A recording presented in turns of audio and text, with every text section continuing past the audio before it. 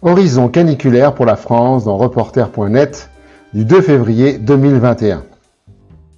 Le 1er février 2021, Météo France a publié un rapport, DRIAS 2020, proposant des projections climatiques en fonction des politiques de limitation des émissions de gaz à effet de serre. Le pire des scénarios considère qu'aucune limitation des émissions ne sera entreprise et dans ce cas, il y aura 5 à 10 fois plus de canicules d'ici 2100. Les périodes de forte chaleur pourraient durer un voire deux mois dans le quart sud-est du pays et les épisodes de sécheresse pourraient augmenter de 50%. Selon Jean-Michel Soubérou, directeur adjoint de la climatologie à Météo France et coordinateur du rapport, dans les deux ou trois prochaines décennies, le futur est déjà écrit. Le réchauffement va se poursuivre du fait de l'inertie de la machine climatique. Mais à partir de 2040-2050, tout est possible. Pour nous donner une meilleure idée du problème, une cartographie des températures période par période. 1976 à 2005, 2021-2050, 2041-2070, 2071,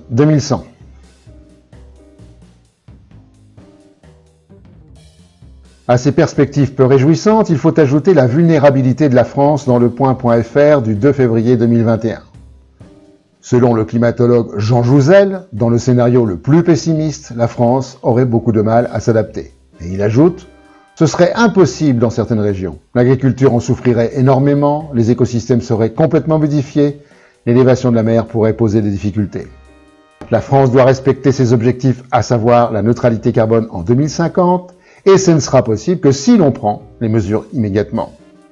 Et le climatologue de conclure que si on reste sur les trajectoires sur lesquelles on est actuellement, on ira sur un réchauffement de plus de 3 degrés et s'adapter sera compliqué, sinon impossible.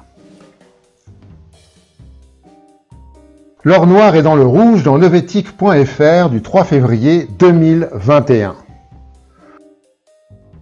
En 2020, BP enregistre une perte de plus de 20 milliards de dollars et plus de 22 milliards pour Exxon et plus de 5 milliards pour Chevron.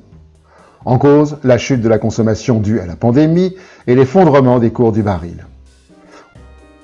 On peut s'attendre à des baisses d'effectifs d'environ 15% et à des fusions entre ces géants du CO2. Le pétrole semble ne plus être l'avenir pour les actionnaires de ces compagnies et chacune d'annoncer des investissements vertueusement verts. Comme quoi arrêter de consommer des produits pétroliers semble pouvoir fossiliser les compagnies pétrolières.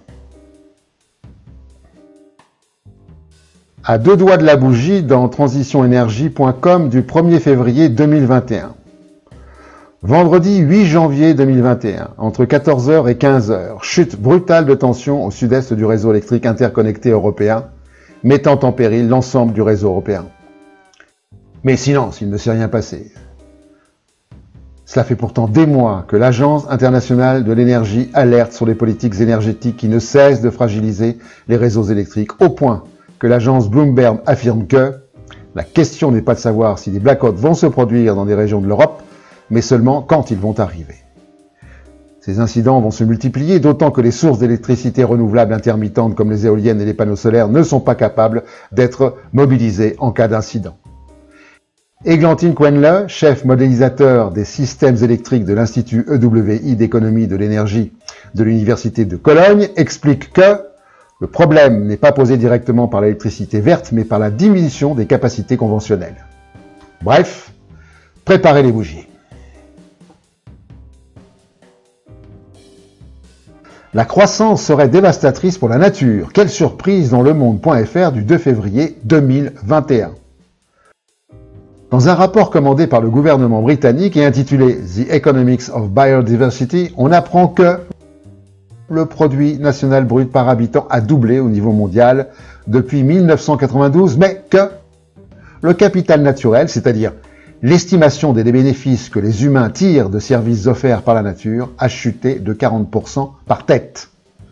Les auteurs du rapport appellent à une croissance plus soutenable, nécessitant des changements systémiques, et rappellent que les modèles économiques fondés sur la croissance n'intègrent pas les bénéfices tirés de la biodiversité. Bref, appeler à des changements systémiques ne dit rien sur le nécessaire abandon de la croissance qui aura lieu de toute façon. Et pour finir, le dessin de la semaine.